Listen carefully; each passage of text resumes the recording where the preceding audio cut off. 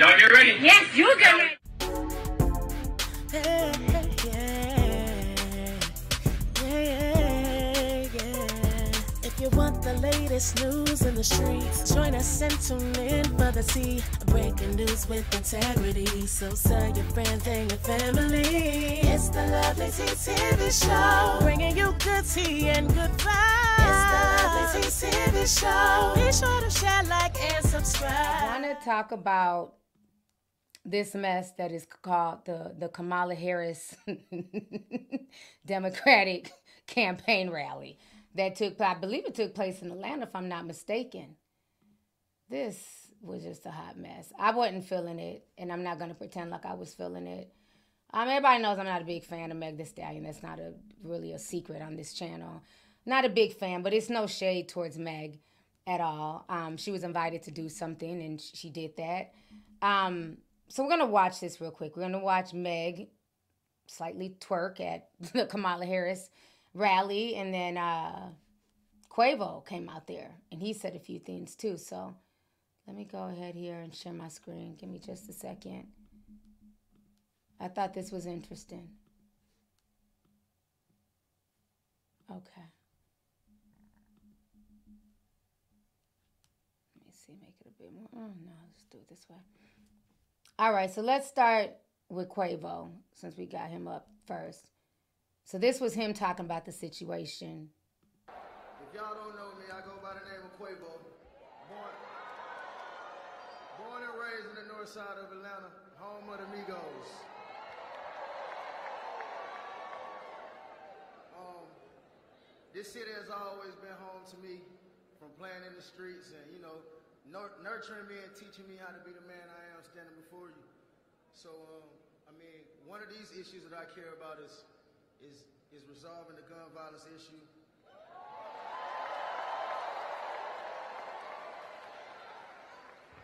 And you can't understand the struggles of gun violence if you're not in the field or in the heart of it. So one thing I learned about working with Vice President Harris is she always stand on business.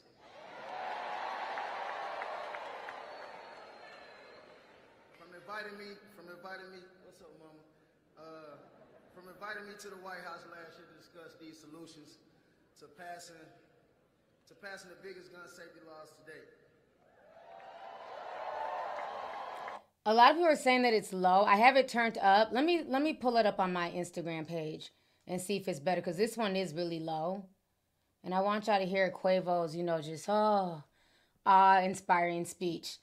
Let me see. Let me pull it up on my page. Let me see if it's a little bit louder on here.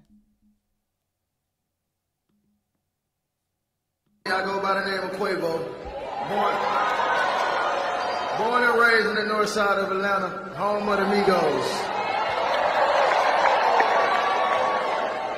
Um, this city has always been home to me from playing in the streets and, you know, nur- nurturing me and teaching me how to be the man I am standing before you.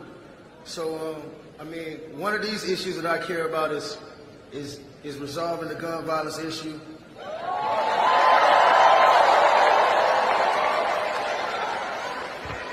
You can't understand the struggles of gun violence if you're not in the field or in the heart of it. So one thing I learned about working with Vice President Harris is she always stand on business.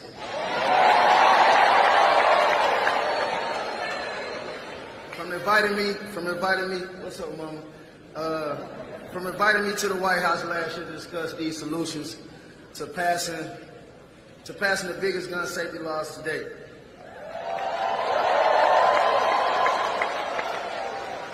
So it's only right in the birthplace of the culture.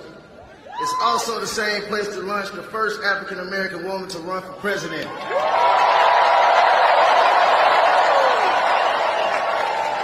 Yeah, we changing the culture again. So if you never voted before, make sure you get out and vote right now because it's the real one. And in the words of my brother Takeoff, let me get a Kamala. I'm gonna hand it over to Tyler the Green. I'm gonna hand it over to Tyler Green, let him talk about his vote and introduce the next president of the United States of America. Yes, sir! Child, okay. All right. So that was Quavo. But you know what? Let me keep it real. You know how, like, what would be a better way to kind of stop the gun violence or minimize it? How about instead of saying, Kamala, how about you talk to your fellow rappers to stop rapping about killing other black men? and to stop rapping about gun violence because the music, you know I'm saying, that has a bigger impact. You know, that goes into your subconscious. So how about we stop talking about killing other black people? I think that would do more than even voting for Kamala. But you know, what what do I know? So now after Quavo's, you know, awe-inspiring speech, Megan got up there. So let's see what Megan had to say or do. Now I know my ladies in the crowd love their body. Real hot girl. And if you want to keep loving your body, you know who to vote for. You know Lil Hey. Hey. Yeah.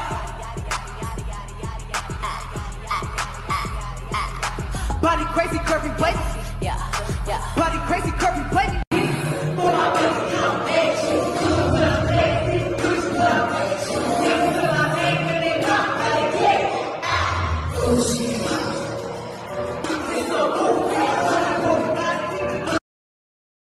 All right, I have to stop it. Well, we're not. I'm not gonna get a copyright strike, but y'all just see what it is. Um, Meg is performing again. It's not really any shade towards her, but it just looks like a Boondocks episode. And I think really people should be offended by that. The fact that is why do they feel like the only way that they can communicate with black people is through, you know, rappers and entertainers and ass shaking and you know, it, it's just it's insulting. You know, again, this is not any shade towards Megan because you, I guess maybe she was paid or asked to be there. I don't know. But it's like, what does body yada yada yada yada? What does that have to do with the campaign rally for voting for the next president of the United States? What does that song have to do with anything? I want to hear that song in the club. I don't want to hear it at the Democratic, you know what I'm saying, rally. I, I don't want her turning around twerking. Like it just it was just tacky. And again, it's not about Megan, it's about just the whole how everything just looks. And I seen a lot of people saying, well, you know, um, Amber Rose, who was, you know, the champion of the slut walk, was speaking at the Trump rally. And indeed she was. And like y'all know, I'm not a fan of Amber Rose either. And I've always called out her slut walk on, you know. But the difference is when Amber Rose got up there, she actually gave a speech. And she it was actually well thought out. She presented herself well. It even made me look at her, you know, with a second glance, like, oh shit, okay, Amber. She's actually saying some stuff that's heartfelt. She's talking about her father being in the military. And, you know, regardless of where she stands, she gave something that was from like her chest. She said it with her chest. She said it, it was in a classy way. It wasn't mixed in with hip hop. She was up there just speaking as Amber Rose. Quavo was up there speaking from like a hip hop perspective and standing on business. And it just, to me, it just came off as just, just hood and ghetto. You know what I'm saying? It didn't give professionalism. And again, it's no different than when Hillary Clinton was up there pulling hot sauce out her purse. I got hot sauce in my bag, swag. Bitch, what?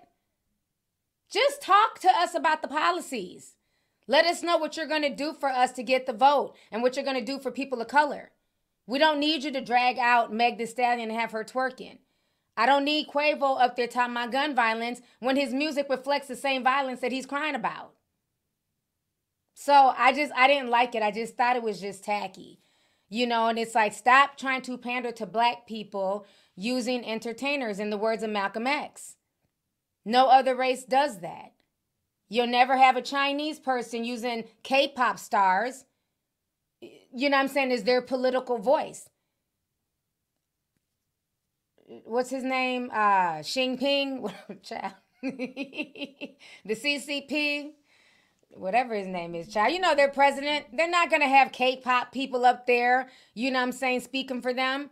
Russia's not going to have Russian pop groups and Russian singers up there speaking for Vladimir Putin. But it's like, why does the Democratic Party always do that? They're always trying to bring out some type of entertainer to, you know, to garner black people's votes. And at this point in time, black folks are tired. I was really, I was honestly really proud Oh, K-pop is Korean. I'm sorry, child. Whatever the, they call the Chinese singers. what are the Chinese singers called? uh, yes, Xi Jinping. That's his name. Xi Xi Jinping. Thank you. C-pop. Oh, okay. All right. Well, they're not gonna, you know, bring out C-pop people to talk for Xi Jinping. They're just not gonna do that. So I just feel like I, I was really proud of the comments of that I saw on social media. People were not here for it. They're like, this is not cool. You can talk to us. You know what I'm saying? We're we're we're well versed in politics. You don't have to bring out rappers. You don't have to bring out, you know, female rappers twerking. We don't need that. Even the crowd was looking bewildered and confused. Like the crowd wasn't even reacting because they weren't there for that. People are tired. These past four years, people are tired of what has gone on. This country has gotten worse over the past four years. We want to know about policies. We want to know about change. I don't care about Meg's Body Yaddy song. I don't want to hear from Quavo. Hell, people want to know about the policies. So I just felt like it was just, it just came off as just lackluster. Came off like it was just a way to just pander for black votes. You had a lot of people saying, you know what, if they continue with this, I'm going to vote for Trump. If they continue with this pandering, I'm done. So the Democrats better, you know, come with a whole new game plan because people are not here for this foolishness. They're not here for the pandering. They want to know what's going to change between you coming into office versus Joe leaving office. That's what they want to know. So I just thought it was a bit much. I thought it was a bit much, you know. And again, no knock to to Megan or Quavo, but I just feel like there are so many people who are so well versed in politics, you know what I'm saying, who run under the Democratic flag that they could have had up there, who could have really spoke to the people. And I get they're trying to, you know, get, you know, younger voters and stuff like that. But even younger voters, they want to know things that are going to help them in the future. Because a lot of these young people can barely afford rent. Let's keep it real. A lot of these young people are still having to live at home with their parents and they're working hard. People like to say, oh, Gen Z's lazy. They don't want to work. They just want to be on TikTok all day. No. A lot of the Gen Z people that I know and that I deal with and hang with, they are some of the hardest working people. A lot of Gen Z people out here having two, three jobs just to make ends meet. So they don't want to see Meg Thee Stallion up there shaking her ass. They want to know what is going to change. What is their future going to look like? If you want to speak to the youth, you better speak to them in some real strong terms and let them know what they need to look forward to because right now they can't even afford housing. Okay? So Gen Z is not as dumb as people want to make them out to be. And a lot of them really are leaning more conservative, to be honest with you, because they're tired of the games. So the Democratic Party, y'all better figure something out. Because this nonsense, folks aren't here for it. The young folks aren't here for it. And the grown folks my age, okay? Millennials, Gen X, we're not, and you know the boomers, they're, them damn boomers definitely ain't here for that foolishness. So they better go to the drawing board and do something because that to me was just, that was embarrassing. It literally looked like a Boondocks episode. It really did. If you want the latest news in the streets, join us and tune for the tea. Breaking news with integrity. So tell your friends and your family. It's the Lovelyti TV Show. Bringing you good tea and good vibes. It's the Lovelyti TV Show. Be sure to share, like, and subscribe.